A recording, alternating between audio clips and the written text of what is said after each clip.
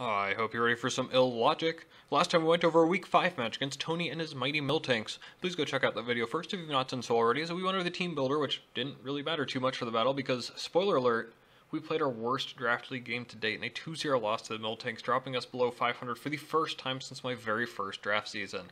This time we're squaring up against Steve Chuck and his 0 and 5 Waterdeep Wobbuffets timestamps in the description. If my doing poorly isn't the biggest surprise of the season, it'd be Steve, not even winning a game yet. Steve is always a big threat, but this season, it's been rough for him. He has the threats, but together, well, let's just go over his squad. Raikou at the top, followed by Swoobat, Darmanitan, Galar Zen mode only. Excadrill is his first pick, Togekiss, Oranguru, Combusken, Conkeldurr, Slowbro, and Gigalith. Lots of big attackers. Not too terribly much in the way of defense or special offense. It's about impossible to wall all of Drill, Conk, and Darmg, but past that it's kind of all over the place. Seems like he's got to bring the same few mods all the time, and that gets predictable even for the ones we don't expect. There's plenty we can do about. Well, I hope. As, as you could tell from last week, we're not doing so hot ourselves. Not only are we starting to get down to the same territory as Steve, but we're playing about that badly too. We're still in the positives as far as differential, which is pretty funny, but it sure is feeling like prep, and two Arctovish games are carrying that entirely. We're going to need to step up the gameplay to keep up with not only my own standards, but the league as a whole. And that's pretty tough to do too against such a good coach. He may be 0 and 5, but this is someone that we lost to just last regular draft season. Do not want to make that 0 and 2 in regular draft in the last two seasons. So how does that improve again? It does still start at prop and expectations, so let's talk about it. Swoobat isn't real.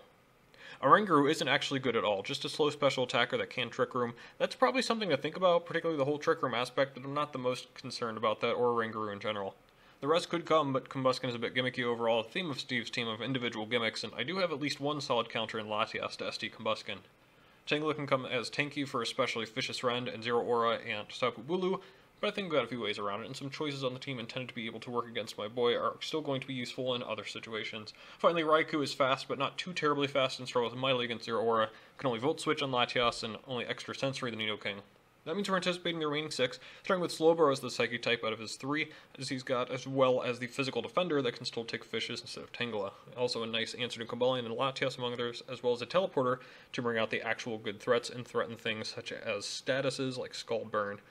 Gigalith should probably come to facilitate Excadrill Sand, assuming it still carries a way to hit Latias with Sand Rush. It could go either way for Excadrill, we'll talk about that in a little bit, but Gigalith itself is a veritable tank that can soak up Latias and Obstagoon hits among others, while providing other support options like Rocks and maybe even Explosion for the free switch. Togekiss has a great typing, the ability to do so many different things between flinching down with Scarf or Nast plotting up or serving cleric duties, providing a lot of scary options. Of course, the top three are his physical attacker, starting with Darm. Band and Scarf are scary even without Gorilla Tactics, and I actually have to be mindful of the speed boost he gets after transformation up to base 135. Well, that's great coverage on him too, between Ice, Fire, Ground, and Fighting to hit my whole team. Excadrill is obviously a threat, as with Moldbreaker my ground answers are weak to Ironhead or Cramorant. General tankiness definitely helps, but Ground and Steel are actually really solid typings against me. As before the Sand Rush or Moldbreaker argument, it's actually a little bit tough the two ones that he can hit with Mold Breaker are already naturally faster than him, so I do kind of anticipate that Sand Rush, hence why the Gigalith I think makes a lot of sense for him. Finally, Conkeldurr is ridiculously strong with stab fighting moves, especially Mach Punch priority, and the coverage including Knockoff, Ice Punch, maybe even Facade with Guts. Tough, but not impossible. For my end, Flareon has no place here, not walling anything in particular with its poor Phys Def, and those it does outspeed do not care. Kramer could have been funny as it resists most of the typings as physical mons have between fire, ground, steel, and fighting, but just doesn't have the physical defense to follow through on that, nor the power behind its surf to go something like Scarf. Obstagoon does hit hard and outspeeds most of his team, but Conk itself is a hard stop with Mach Punch, not to mention Kiss, not to mention Arceus Raikou. It's not a great time overall. Rotom has some use, but I really don't like gambling on Excadrill being Sand Rush and then maybe missing on a burn or burning a Conk of his guts or being outsped by Darm or Tang just sitting in front of it. Or not doing enough damage to the Volt Switch and a Kiss or Slowbro, it, it can't really come right now. Finally, it was a tough call, but the last plan is going to be Vanilluxe not coming either. Yeah, changing weather is nice, but he has a few ice resists, and I can't lock in or get enough power to do what I need to do, especially with threats like Darm, Excadrill, and Kiss barely outspeeding me. Yes, Arctovish is coming without Vanilluxe, but not to worry, so I'll be bringing my own Hail with an Icy Rock to keep the pain going. Not sure if that's the play for item, but it's kind of neat tech. We've got speed for Zen mode Darmanitan at plus 2, attack to OHKO Gigalith after Stealth Rock with Fishious Rend, and the rest in special attack, 112 of which lets me 2 hit KO Slowbro with Freeze Dry after Rocks. So it's cheeky fun set. Let's see maybe some more standard stuff with Cobalion, who's got the helmet, three attacks and Toxic for something like Slowbro or Tangela or Kiss. It's relatively free unless Exca has the speed boost, just have to be careful with Conk's Guts as well. Speed for Darm, near max HP and HP, with just a little bit of an attack to ensure OHKO uh, with CC on full health, 4 HP Excadrill. That Phys Def could definitely come in handy. It means I can survive a couple of cheeky hits, like a Mach Punch, a little more easily, or maybe even a Darmanitan hit if it's locked into an Ice move, potentially, or something of that nature. Let's move on to Nidoking then with Life Orb, 3 attacks, and Rocks this time. I really only need the stab moves to run through his team, so I figured Rocks worked here as Nidoking forces so many switches. And Ice Beam is a more neutral option that can still hit the drill if he's got a Balloon or in front of a Kiss, you may want to immune uh, incoming Sludge Wave, things like that. Speed for Kiss, it's pretty straightforward. Tapu Bulu is here obviously to stop the Earthquake nonsense with a Choice Band. Woodhammer actually does stupid damage, 40% plus to max HP Kiss, even good natural bulk with lots of HP and very little that can switch in.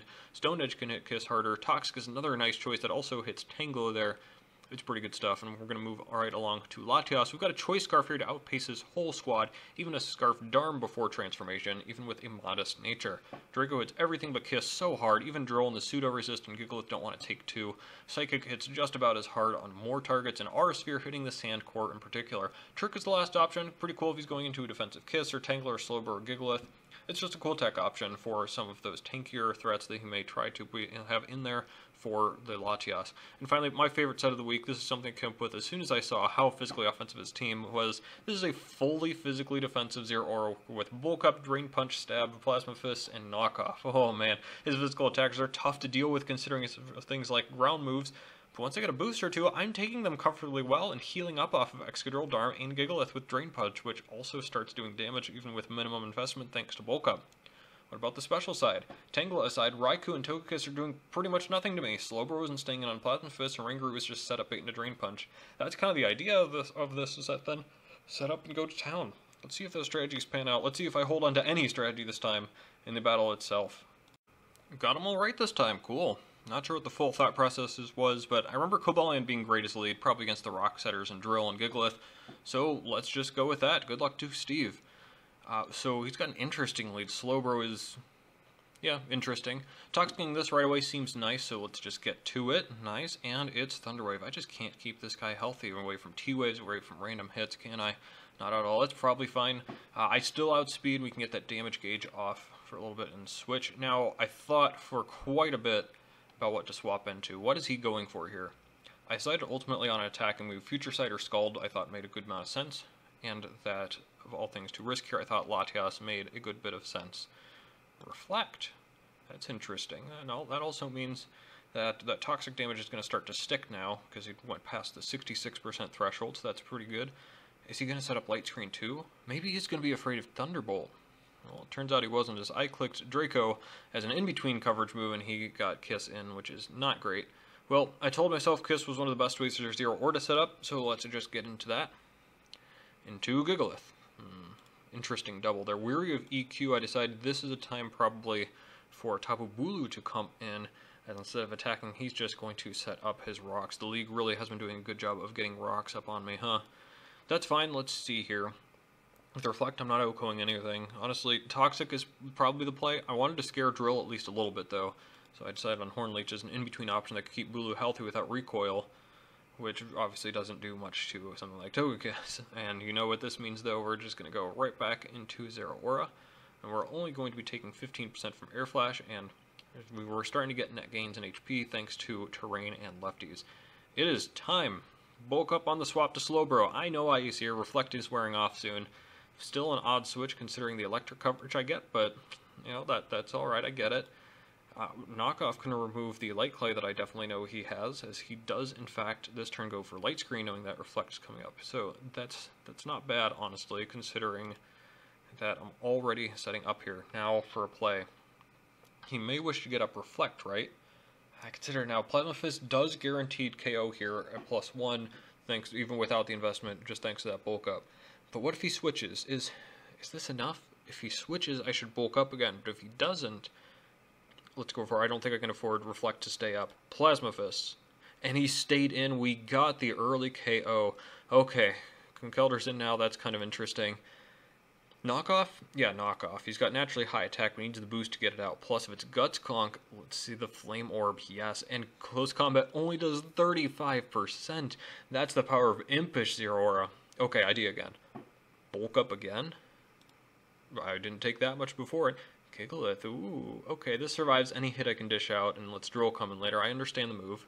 Uh, this wasn't, I think, a 2-hit KO with Drain Punch, though maybe if I had Punch. Well, here we are. Let's, let's remove the item, I suppose, and claim Lefties in exchange for Toxic. Damn, again, maybe if I'd punched earlier. Let's do it now, and we can see that with the Drain Punch, only 55%. So no, this wasn't to a 2-hit KO at plus 1. Doesn't look I could have avoided this timer. Can at least heal up a good bit here with Drain Punch and the follow-up. He could try to stall at Toxic a bit, including a Kiss into Drill Play, so let's prevent that with Plasma Fist. It's not like I could be getting that much HP back anyway, so yeah. Um, EQ from the incoming Drill is going to be scary for sure. Plus 2 defense. We live! Oh, that was close. Shout out to Full Defense Impish. What a great call this ended up being. I, I, definitely was considering getting speed in there for Darm or other things. Full physical defense was definitely the play. I started seeing some of the crazy numbers we get whenever we start bulking up, including Earthquake only doing 57% at plus 2. That's... Whew, thank goodness didn't invest that speed. And now also Sand is gone. So let's let's just move on to the next KO then, shall we? Goodbye, Togekiss. Four KOs from Zero Zeraora, just ripping through the team. Conk makes a lot of sense here, of course, with Mach Punch. Looks like it does 9 to 10%. Yeah, that's definitely a shame. Don't know if I would have recovered that much from Drain Punch on Gigalith. Maybe not, but mm, that could have, could have been close there, potentially. So maybe that's influencing the play here a little bit. The guaranteed play here, to avoid Drain Punch in particular, is to do a little swapping. We're going to get just a little bit of Helmet Chip with Cobalion, and then sacking Zeraora afterwards, two rocks, and we're just going to have Latias finish it off with Psychic because this thing doesn't have an item. It's not like not Mach Punch would do all that much. Psychic will, of course, just cleanly take it out. And now finally, with Darmanitan being the last one up, I finally make a misplay. I mean, sure, Draco into Kiss earlier could have been classified as a misplay, and maybe one or two other plays could have been better optimized, but... Okay, so how do I lose here? I didn't think that much about that this turn, apparently. Giving my brain time off means I only had the brain power for 20 whole turns. What am I worried about here? Scarf? He locks into something I can take. Earthquake doesn't hit. Fire move doesn't KO. Ice moves resisted by Cobalion and Arctovish. Fighting doesn't do anything banned, not KOing it all that much. Like, seriously, I pounded into my head early. This Darm's only real play is getting into Zen mode and popping a Salac Berry.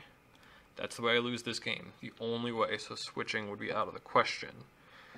Looking back on this is literally making me a little bit physically sick. I, I don't need to say too much. I could have still tried to play around here with getting two Rocky Helmet procs on it, but I didn't because I didn't know he got Fire Punch. Not that it matters, and in the biggest throw I may have ever seen. We're going to go down again. 1 nothing. GG to Steve. Shame it came down to me throwing instead of outplaying one way or another. That is by far the worst part about this. It felt like a vintage Bouffalant victory right until the end when I just threw it all away. I really... I kind of want to curl up in a ball. I thought I got my quote pretty well in front of the guys afterwards, but... Damn, I suck. I suck. Stupid, stupid, stupid. Let's just move on to the next week. Zeraora is the MVP, of course, moves up to tied for first overall in the KO leaderboard in the league, actually. Latias probably MVP number two, though we won't be seeing it for very long. Yeah, we've made some trades that will be coming into effect week seven. I do feel good about the first 18 turns or so here. I think I did a good job turning my mind around after last game, but yeah, this stings, because I turned a 5 or 4-0 into a 0-1, costing me tons of differential, and an extremely valuable victory that all but knocks me out of contention for those coveted playoff byes.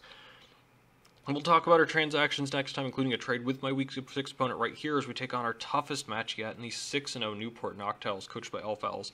We're going through our very own story arc here in real time. Let's see if we can complete our transformation by rocking it with a new team and going strong into the playoffs. See ya.